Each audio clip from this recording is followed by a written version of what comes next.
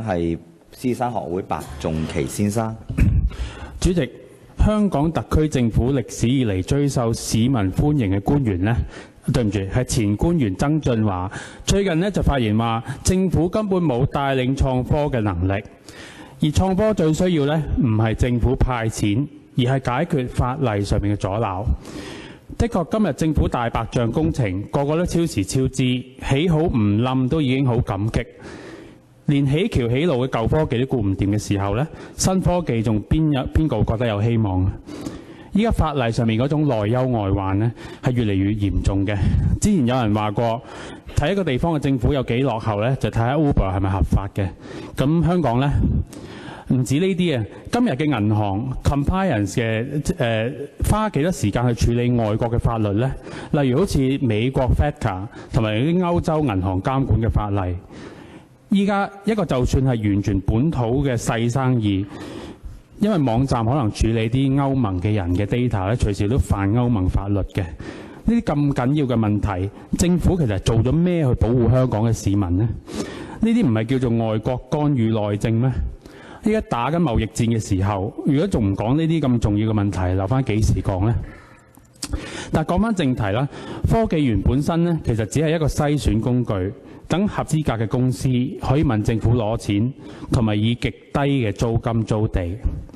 政府其實係咪應該保護市民嘅自由，確保法治人人平等，定係好似依家咁為咗特權去輸送利益，用納稅人嘅資源同埋我哋珍貴嘅土地，令創科局變咗好似房委會咁樣？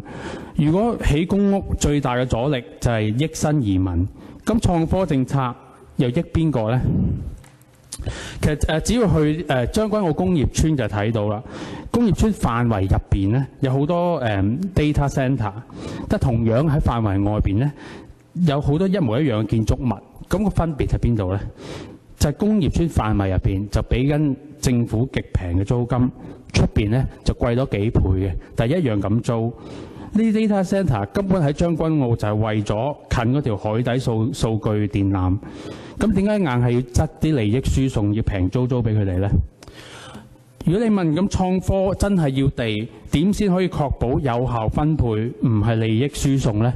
我哋獅子山學會一直都話最有效分配公共資源嘅方法，政府其實係一直都知道，亦都經常用緊嘅。